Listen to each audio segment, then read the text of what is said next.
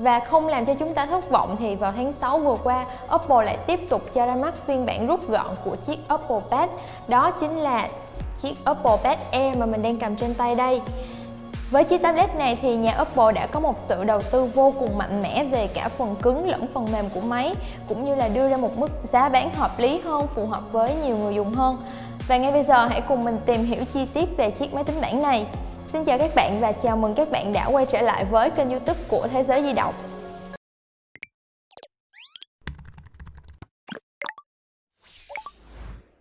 Oppo Pad Air dự kiến sẽ được bán tại cửa hàng của Thế giới di động với phiên bản màu xám. Về bộ nhớ trong thì máy hiện có hai phiên bản là 64GB và 128GB cho chúng ta dễ dàng lựa chọn tùy theo nhu cầu sử dụng của mình. Nếu như các bạn quan tâm thì đừng quên theo dõi website của Thế giới di động để cập nhật những thông tin mới nhất về chiếc máy này nhé. Đầu tiên khi mà cầm chiếc máy trên tay thì chúng ta có thể thấy máy được làm hoàn toàn bằng chất liệu là kim loại Thiết kế theo kiểu dáng vuông vức và khá là tối giản. Theo như mình thấy thì kiểu thiết kế này sẽ giúp cho mình có thể cầm nắm máy một cách dễ dàng hơn. Ngoài ra thì nó cũng mang đến cho mình một cảm giác rất là hiện đại, sang trọng và tinh tế khi mà sử dụng nữa. Thông thường thì những chiếc máy được làm bằng kim loại sẽ có trọng lượng nặng hơn so với những chiếc máy được làm bằng chất liệu là nhựa. Tuy nhiên với chiếc máy này thì mình lại đánh giá là nó không quá nặng mà rất là mỏng nhẹ vì nó chỉ có trọng lượng là 440g và mỏng 6.94mm và chắc chắn là với độ mỏng nhẹ như vậy thì chiếc máy này sẽ vô cùng phù hợp với những ai yêu thích những chiếc máy gọn nhẹ và có thể dễ dàng mang theo khi ra bên ngoài. Một điểm trừ nhỏ là phần viền đen ở phía trước màn hình máy thì khá là dày, khiến cho chiếc máy của chúng ta trông sẽ có vẻ là kém thẩm mỹ đi một tí. Tuy nhiên theo như mình đánh giá tổng quan về chiếc máy này thì máy vẫn sẽ mang đến cho chúng ta một cảm giác rất là sang trọng và tinh tế khi mà cầm trên tay các nút nguồn, nút âm lượng và các cổng kết nối thì cũng được Oppo trang bị một cách rất là đầy đủ. Sạc và tai nghe của máy thì đều sử dụng chung một cổng kết nối là cổng Type-C. Điều này thì mình nghĩ là sẽ gây ra khá nhiều bất tiện nếu như bạn muốn vừa sử dụng sạc và tai nghe trong cùng một lúc. Ngoài ra thì máy sử dụng công nghệ âm thanh vòng Dolby Atmos với hệ thống 4 loa Chiếc Oppo Pad Air này thì cũng được ưu ái tích hợp rất là nhiều tính năng đặc biệt như là chia đôi màn hình và cửa sổ linh hoạt. Những tính năng này sẽ giúp cho chúng ta có thể sử dụng hai tác vụ song song đồng thời trong cùng một lúc và chắc chắn là tính năng này sẽ vô cùng phù hợp với những ai mà yêu thích sự đa nhiệm và thường xuyên phải giải quyết nhiều, nhiều công việc trong cùng một lúc. Cách thực hiện thì cũng vô cùng đơn giản và mình sẽ hướng dẫn cho các bạn nghe sau đây. Với tính năng chia đôi màn hình thì cách đầu tiên bạn có thể vuốt hai ngón tay từ phía trên xuống dưới và màn hình sẽ được chia làm đôi. Cách thứ hai thì bạn có thể chọn vào những tab gần đây, sau đó chọn vào biểu tượng chia màn hình. Tính năng cửa sổ linh hoạt cũng sẽ được thực hiện tương tự. Bạn chỉ cần chọn vào những tab gần đây, sau đó chọn vào biểu tượng cửa sổ. Và đặc biệt là bạn có thể di chuyển cửa sổ đến mọi vị trí trên màn hình. Mình cũng thường xuyên sử dụng tính năng chia đôi màn hình trong lúc mà mình học online, vì khi đó mình có thể vừa nghe thầy cô giảng bài và bên cạnh đó thì mình cũng có thể ghi chép bài giảng một cách vô cùng tiện lợi. Chiếc máy này sở hữu màn hình rộng 10.36 inch. Theo như mình thấy thì đây là kích thước màn hình khá vừa phải, khiến cho mình có thể dễ dàng cầm gọn máy trên tay và thực hiện mọi thao tác một cách khá là dễ dàng. Thiết bị này thì được trang bị tấm nền là IPS LCD.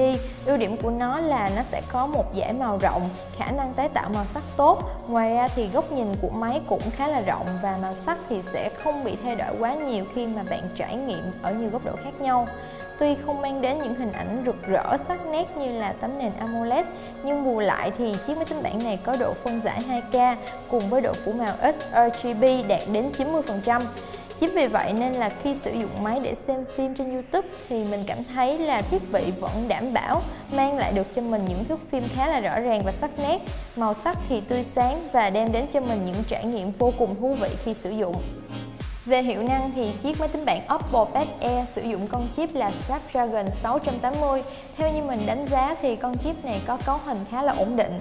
Nếu như so sánh với các con chip khác thì Snapdragon 680 có thể không quá nổi bật. Tuy nhiên với những tính năng mà nó sở hữu thì bạn hoàn toàn có thể dùng máy để thực hiện các tác vụ thường ngày như là lướt web, nghe nhạc, trả lời email, meeting online vân vân. Ngoài ra thì chiếc tablet này vẫn có thể cân được các tựa game nặng như là Liên Quân Mobile Mobile, PUBG Mobile. Nhìn chung thì nếu sử dụng máy để chơi game ở mức đồ họa thấp thì mình thấy game vẫn có thể chơi được một cách khá là mượt mà. Tình trạng giọt lắc cũng được giảm thiểu và máy cũng sẽ không bị quá nóng.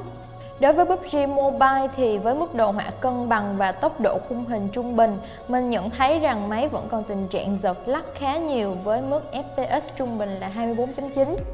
Và để đánh giá về camera của chiếc tablet này thì mình cho là nó vẫn chưa có nhiều cải tiến vượt bậc cũng như là những ưu điểm đáng kể. Camera trước sẽ có độ phân giải là 8 megapixel. Nhìn chung thì bạn có thể sử dụng chiếc máy tính bảng này để chụp những bức ảnh cơ bản mà không đòi hỏi tính chuyên nghiệp quá nhiều. Công nghệ pin có lẽ là ưu điểm nổi trội nhất mà mình đánh giá cao về chiếc Pad Air này của nhà Apple. Máy sở hữu viên pin với dung lượng là 7100 mAh.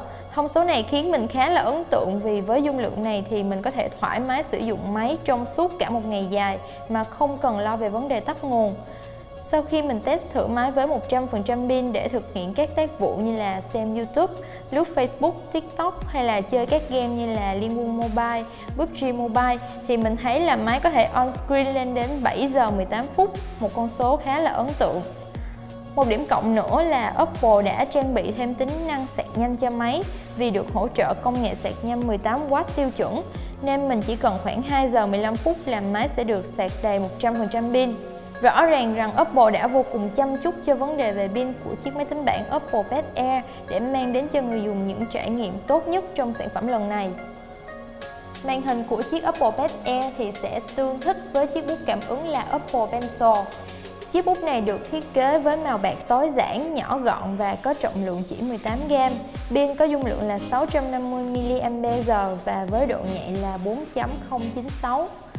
Khi mà trải nghiệm thì mình thấy Apple Pencil mang đến những nét vẽ mượt mà và sẽ là một công cụ đắc lực hỗ trợ tốt cho mình khi mà mình có nhu cầu về thiết kế, làm việc, ghi chép mà cần sử dụng đến chiếc máy tính bảng. Và để tổng kết lại thì mình sẽ đưa ra những ưu điểm và nhược điểm về chiếc máy này như sau. Về ưu điểm thì sản phẩm có mức giá ổn, thiết kế tinh tế, sang trọng, cấu hình máy khá là ổn định và công nghệ pin thì vượt trội. Về nhược điểm thì mình cho là camera vẫn có độ phân giải không quá cao. Thật sự là chiếc máy tính bảng này đã khiến cho mình vô cùng ấn tượng với thiết kế kim loại sang trọng Mức giá thì rất là hợp lý nhưng mà những chất lượng mà nó mang đến thì lại vô cùng tuyệt vời và với những đánh giá về những ưu điểm và nhược điểm như trên thì mình nghĩ là chiếc máy này sẽ phù hợp với những ai có nhu cầu giải trí cơ bản như là nghe nhạc, xem phim, đọc báo, lướt web hoặc là thường xuyên cần chiếc máy tính bảng nhỏ gọn để có thể dễ dàng mang theo khi ra bên ngoài. Và trên đây là toàn bộ những đánh giá của mình về chiếc máy tính bảng Oppo Pad Air sau một tuần trải nghiệm và sử dụng. Hy vọng rằng với những gì mình vừa chia sẻ thì các bạn đã có thể có được thêm nhiều thông tin hữu ích về chiếc máy tính bảng này. Đừng quên like, share và subscribe cho kênh youtube của Thế giới di động để tiếp tục cập nhật thêm nhiều nội dung hữu ích trong thời gian sắp tới. Xin chào và hẹn gặp lại. Bye bye!